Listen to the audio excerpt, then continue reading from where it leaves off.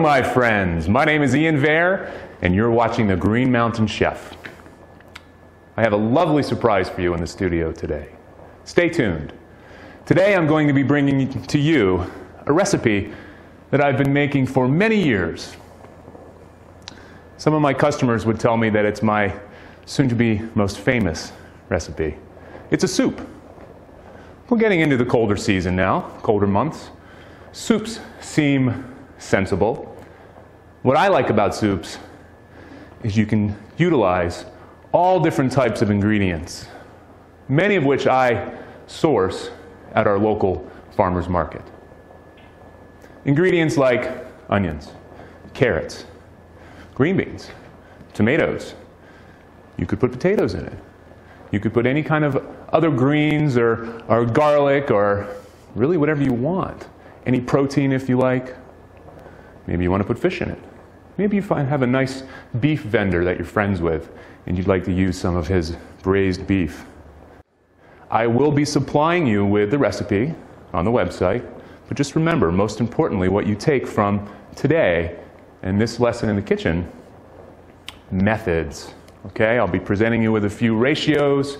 We'll talk safety, of course. Let's have fun. Okay, so how, how about we get started? I guess first I should thank um, my, uh, my friends, my fellows, and uh, the folks that support me at the local farmers markets. Uh, Saturdays in downtown Rutland and Sundays in downtown Dorset. Thank you so much for, in a sense, sponsoring me, and it is my pleasure to use your food and to hopefully support what we all are trying to do with our local sustainable community. And with that, let's get started. Okay, so the key to a good soup, a wonderful soup, wonderful, wonderful soup, is a stock. What is a stock? It's a flavorful liquid that you create with, you start with water, you put some herbs and spices, you put vegetables, celery, carrots, onion, garlic, traditionally.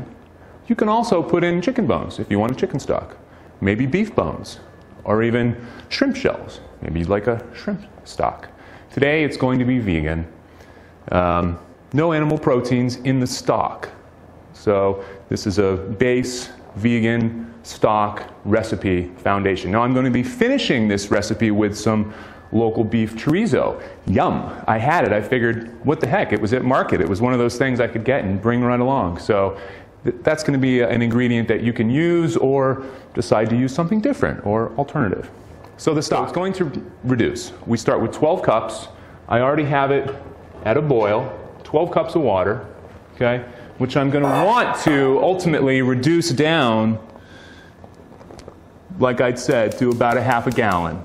Okay, it's up on high. First thing I'm going to do, traditionally, I'm going to add in one bay leaf. You could even use a half a bay leaf, not very much. Boom. For a half a gallon, I'm going to use, I like it a little more peppery, so I'm going to use about a teaspoon of black peppercorns. Fun. Now I have other herbs that are going to go into this, but for the stock, those are traditionally the two, okay? Now, what else do we have? Well, the French call it mirepoix. That's just a fancy word. It's celery, carrots, and onions. Now, the ratio here, this is important. Per gallon of stock, and we have a half a gallon today, one pound of mirepoix. Broken down ratio wise, half of that, 50%, is onion. Okay? So that's eight ounces of onion. 25 and 25% is going to be carrots and celery. So this is about a one pound, no, I'm lying to you. This is about an eight to 10 ounce onion, okay? About an eight to 10 ounce onion. So what I've done is I've taken the top off, pulled the skin off, and I want to dice this. I'm going to give it surface area. I don't just want to dunk an onion in there and, and let it go. I really want to juice it and get all the yumminess out of that. So what I'm going to do, after I've taken the top side off, leaving the root side intact, I'm going to cut it in half. So half of this I'm going to reserve for the actual uh, soup. Half of that I'm going to reserve for the actual soup. Now, this is a fun little technique, and we don't have to do this if we don't want, but this is something we learned in culinary school, keeping our fingers on top of the oven and the knife very flat, very conscious of that blade. We don't want to cut all the way through, folks. Okay? You see that? Mostly. If I have a larger uh, onion, I might do a couple slices. Now I'm going to go back over the top, not quite cutting all the way through. All right? Now, nice and easy, always keeping your thumb behind your fingers, out of the way so we don't cut ourselves. And you just cut right along the top. Now, this last few pieces, no big deal. We got a couple pieces that are oblong, no big deal. Okay, this is going to go it, one of two things. Could go straight into the stock. I'm going to make it a little more fun. I'm going to brown it a bit. Just a little bit of, I'm using canola oil today, good healthy oil. A lot of traditional French chefs will use butter, clarified butter. Um, I use it some, but I really prefer to use high monounsaturated fats. So this is hot pan. I don't want to burn these folks. I don't like the taste of burned. I don't think you do either. I want to caramelize them and be very active with the onions in the pan. Okay? Watch your heat. Now, this is high heat, and this is um, a saute, essentially, what I'm doing right now, which is high heat with just a little bit of fat. Now, if I start to cry, I apologize. These onions are. Whew. Try to breathe through the mouth, not the nose. okay. So they're probably going to take another minute or so. Meanwhile, I'm using, so I've used a half of a medium onion, we'll say. I'm using two stalks of local organic celery. I'm going to take off the very bottom, very bottom white. If there's any, uh, any leaf going on up in here, I usually take that off. Supposedly, it's a little bitter. Now, nothing fancy here, just a quick stir. Nothing fancy. I'm just going to cut, watch your fingers, straight down the middle. Two times. Oh, that one went a little to the side. We'll give it another cut. Check this out. Line it all up. Always keep that thumb back, folks. Your fingers are really just more of a guide, and your thumb keeps things balanced, but keep that out of the way. All right?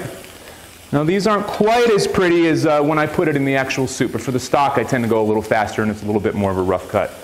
Okay, our onions are beginning to brown. My heat is all the way up. We see some of the caramelization in there, folks. You could caramelize it a bit more than that without having any burn flavor, but in the essence of time, remember I only have 30 minutes uh, to get all this done. I'm going to go ahead and get this in our stock. And same deal with the celery. Exactly the same deal. Hot pan, little bit of fat. Canola oil today. Probably put in about a half of a teaspoon. Not much, you guys. Right in the hot pan. Same concept with the celery.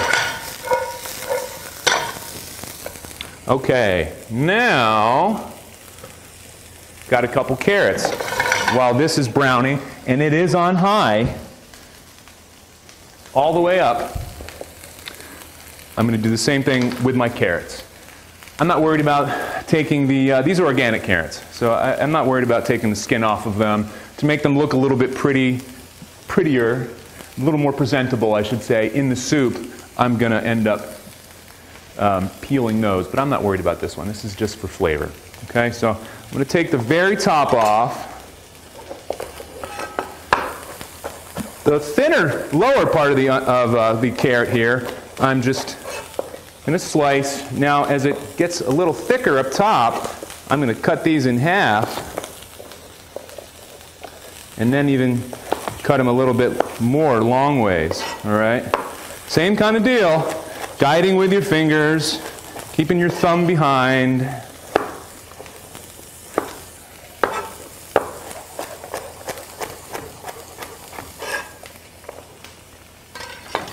All right. So, time wise, how long is this going to take start to finish?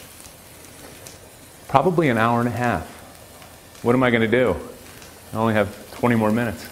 Um, so I have some shortcuts. Okay? Now, this is on air shortcuts that uh, are going to speed me up so you can take this recipe at home and make it at your leisure. You don't have to be behind the eight ball like I am at the moment. So, I'm beginning to caramelize here my celery. I'd like to caramelize it a bit more, right? I'd like to, a little bit more, but in the essence of time, I'm going to keep going. Now, like I said in the beginning, you don't need to do this, but it does give it a little bit more flavor, which is kind of fun. So, carrots, I could go through the same process, but I'm going to give myself an extra three minutes and put this right in the stock, okay? So, we're going to pretend, we're going to pretend that these carrots are caramelized. All right? Now, meanwhile, I've already made a stock. You know, I get here to the studio a few minutes early and get a few things ready for myself. So, when we're ready to use it, I already have a stock that I've strained. It's already simmered for an hour. It's on the back burner. So, what I've just showed you with, with this little stock here is um, it's just, uh, let's get started. One more thing that, that I, I neglected, and this is, it's not a must, it's an only if you like. And uh, we have some people here at the studio that don't like garlic. And there's some people at home that don't like garlic. So the last thing, but it's not like the spec, um, to saute a little garlic, put that in the stock as well, which is actually what I did with my original stock. So yes or no, this is up to you. Celery, carrots, onions, bay leaf, peppercorns, water, we're making a half a gallon worth of stock for a recipe today. Okay? So maybe I'll bump into you uh, folks on the street one of these days and you'll have a question for me about soup. Uh, feel free to ask me about that. So I'm going to keep going here. Stocks are done. Now, primary thickening agent for my soup. It's called a roux. And a roux is, is defined by 50 50 by weight, actually, um, both fat and flour. Traditionally, clarified butter. Clarified butter has had all the, the milk solids removed. Usually you heat it up and you let it cool down and it pours off the milk solids. But today I am again using canola oil. And I frequently use avocado or canola oil, healthy fat. So for this quantity of soup, half a gallon, it's the ratio is 8 to 1. Okay? So if I'm half a gallon is four pounds, so to be eight to one, I need a half a pound of roux. All right? So I have have myself four ounces of fat, four ounces of flour. Now there's a catch with that. With gumbo, your roux needs to be cooked. And the longer it cooks, the less it sort of um, thickens. The less it's going to thicken, the more it cooks. Okay? So I'm adding a little extra flour today. All right. I already weighed and measured this out. Half a cup, came out just right. Half a cup of uh, canola oil into the pan. Now, I have some recipes where I don't even cook the roux. I have others where I lightly cook it, and this one specifically, you have to cook it. Otherwise, it's not a gumbo. So, I'm actually putting in by weight five ounces of flour. And this is a gluten free all purpose flour. Frequently, I'll use brown rice flour or oat flour, and I, I like to use gluten free options. So, um, doesn't alter the recipe at all. Might as well use something like that. So, what's going to happen with this is it's going to cook. Now, remember, folks, I didn't use exactly 50 50 by weight flour and, and fat because I wanted it to be a little thicker. I wanted it to have a little more thickening power because that's going to be dampened as I cook it. Okay, so remember that. Gumbo, dark roux. Okay? Now, I have this on high heat. I wouldn't be cooking this and then the phone ring and then go grab the phone and talk with my buddy for a minute or go water the plants or anything. I have to be on top of this because I, I want to brown it heavily and it's going to take on almost like a burnt popcorn kind of smell. Almost. It's yummy, but not. We all know what burnt food tastes like. We don't want it to be gross. Okay? So, nice and slow, constantly stirring, at least medium heat. I have it on high. I'm trying to go as quick as I can here. Now, here's what's going to happen. This can take about at least five to 10 minutes. So we don't have time. Show will be over. So we're going to pretend like I'm doing this for at least another five minutes. Meanwhile, before we started, I made some, some dark roux.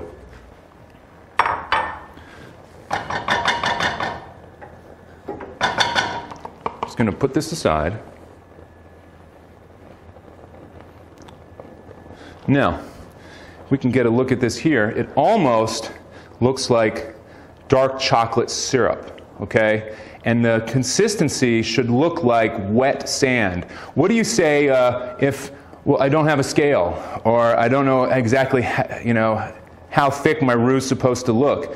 It should look like wet sand. It should look like a, a chocolate sauce, all right? Fairly viscous, fairly thick, okay? Now,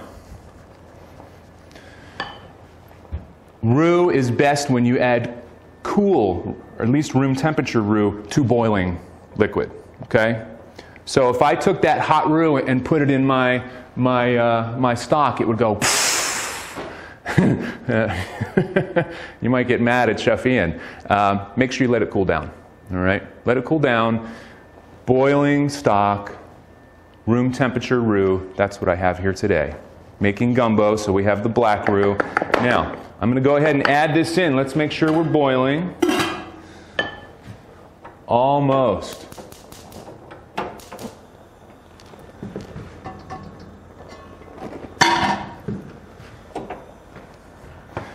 It's imperative that it is to a boil. Looks like we got about a minute. So we'll fill some time up here. So I am a mushroom enthusiast. Uh, some locals would call me an expert. I do teach workshops. I spend a lot of time in the woods. I was going to make a whole alternate recipe for this show, but I was in the woods yesterday and discovered some of my favorite mushrooms, edible, wild, choice. I found lobster mushrooms. I found oyster mushrooms. I found chicken of the woods, which I've actually already worked with uh, in, uh, a few episodes ago. Um, they're lovely. Why not? Why not make a wild mushroom medley? Now, remember, folks, something like this, you don't need to use wild mushrooms. You can get some lovely oyster mushrooms or other mushrooms that are cultivated at your local farmer's market. You can get them at the grocery store. You don't need to use them. It's much like this chorizo I'm going to be putting in. You don't need to use that either. So let me talk about these mushrooms for a minute, a minute here. The oysters, they're quite nice. They're uh, lovely aroma, fairly easy to identify. Check it out here. We've got a couple of them we can take a look at. I'm not sure how well we can see that. They have a nearly fully descending stalk, so the gills go almost completely down the whole stem, just about to the bottom. They grow on dead wood specifically. Okay, usually in, in clusters all over dead wood, and I think I'll be able to attach a picture uh, somewhere in here so we can all see what they look like in the wild. Um, let's see. Nice odor. The spore print was right. The spore print was, uh, was white, actually.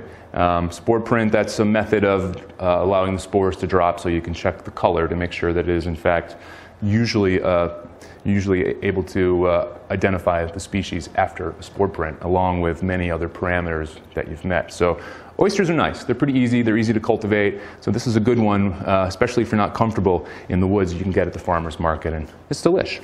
So oyster mushrooms. Another one was, uh, let's see, the chicken mushroom. I was surprised to find these. These generally come out in the spring, but they can be through, through the summer months. And this one, I found a big cluster of them. I left most of them. They're orange on the top, they're yellow on the bottom, they're polypore, many pores. Um, nice choice edible. They have the texture similar to cooked chicken. The lobster mushroom, they're interesting. They're actually a, a parasitic fungus that turns somewhat unpalatable mushrooms, say in the Russula and Lactarius um, families specifically, into a choice edible. It's very, very interesting. So these are all mushrooms that you don't just want to say, oh, I saw it on the air, let me go get it in the woods. Not that kind of thing. Uh, you know, I study National Audubon's uh, Field Guide to North American Mushrooms along with other manuals. And I have been for many, many years. So don't ever take any of this lightly when I'm using wild mushrooms, everyone. Safety's first, okay? So, with that said, We'll come back to them, but let's go ahead. My stock is boiling. we've got our room temperature roux. Now, here's the deal with roux. You don't dump the whole thing in at once. You put about a quarter of it in at a time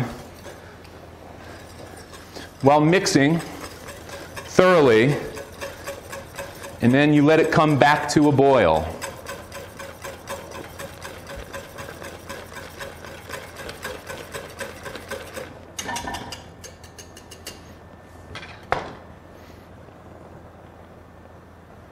Okay, it's coming back to a boil right in the center there. I'm going to put in another about 25%-ish, maybe a little bit more. Speed us up a little bit here.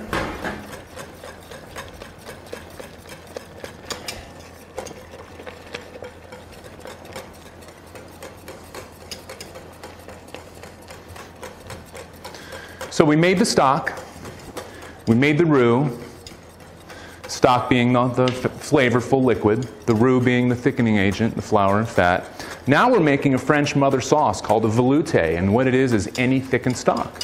And traditionally it is thickened with a roux. So hey, we, we just pulled off a French mother sauce today. It's pretty cool. All right, we're back to a boil. I'm going to add in the rest.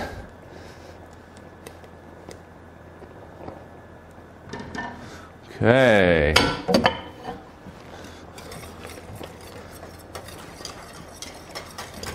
Lovely. Now, I'm going to add in about a quarter of a teaspoon of black pepper, all right? Salt to taste. I'm adding in a teaspoon. I'll taste it at the end. Oregano, just a pinch. Basil, I love basil, so let's go with about a teaspoon. I didn't use fresh herbs this week, folks, because uh, they were sold out at the market. They're popular, okay? Luckily, we have some dried herbs that we can use also. Um, this isn't a perfect recipe, but it's a good, consistent one. All right, so our velouté is going. I'm going to turn it down so it's just simmering now. Looks wonderful. And if I were to show you here, it should it should coat the back of your spoon quite nicely. And not too thick, but just thick enough. One big deal with wild mushrooms is they need to get cooked. Okay? Always. Hot pan. I'm just going to sort of rough chop these up. I want them to be very, very present. I don't want a small dice or anything. I want them to be very, very consciously in my soup here.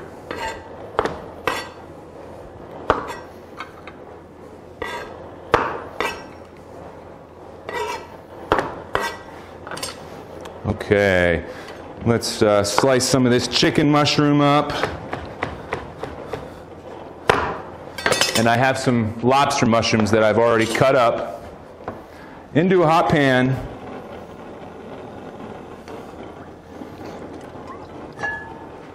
They soak up the oil pretty well, so you want to make sure that, that your pan's pretty good, almost to smoke point. And mine could have been a little bit hotter.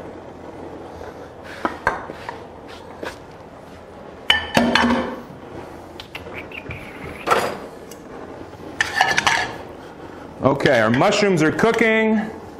Our soup looks lovely.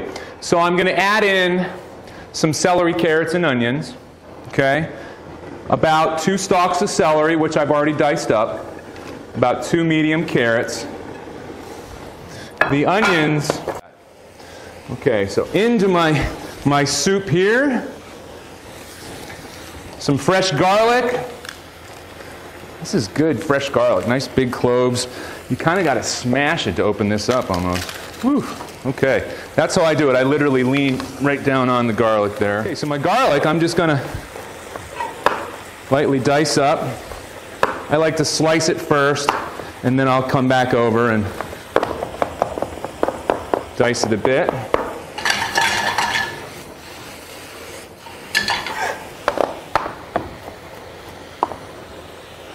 All right. I'm actually going to sweat these just a little bit down in with my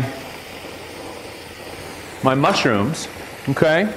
Now, they're going to cook for another 30 seconds. I'm going to put a bell pepper in. I got a nice looking bell pepper this week, so that was uh, something that I forgot to mention in the beginning there. Now, I like to cut the top off first. Okay? Boom. And then the inside of it just sort of nicely comes right out. All the pith and all the peppers. Then you take the bottom, cut the bottom off, and then you can literally cut right inside to get all the rest of the pith.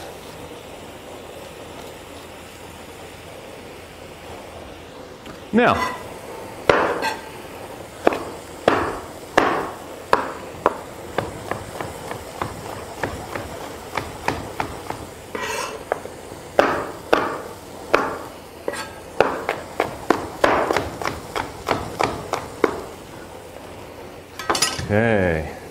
right in the soup.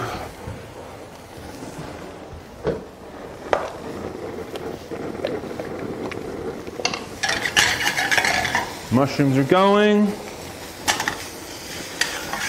Getting to be down to the wire.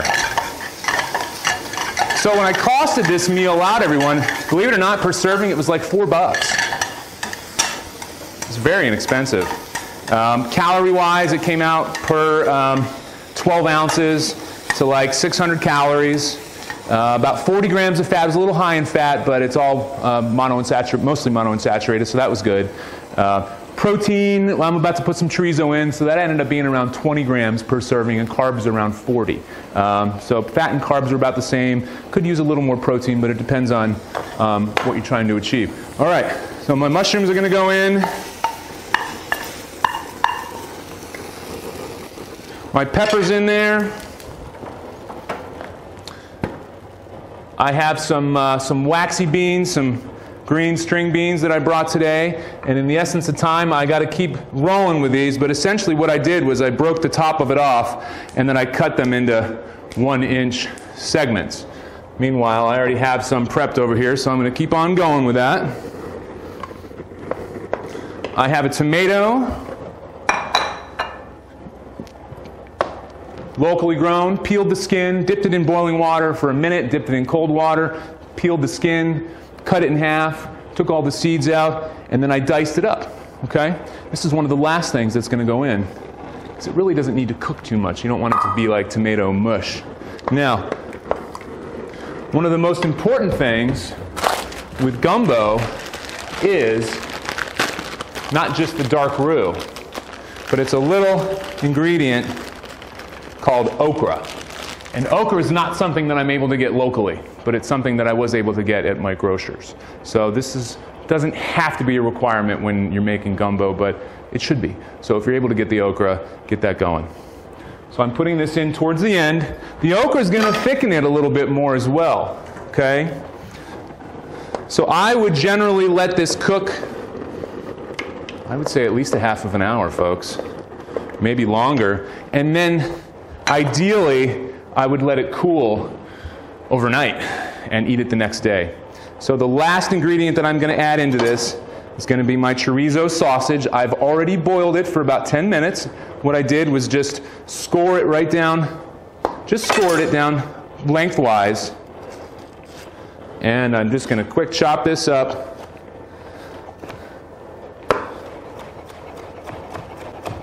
Local beef chorizo is really nice. I had some for breakfast the other morning. Lovely. So all my ingredients are in my gumbo. Wild mushroom gumbo, local ingredients, healthy. We're just about out of time here, folks. We'll get you a plate in a minute here to show you what it looks like, uh, all plated up with some nice garnishment. Thank you so much for watching my program today. My name is Ian Vare, and you're watching The Green Mountain Chef. Thank you.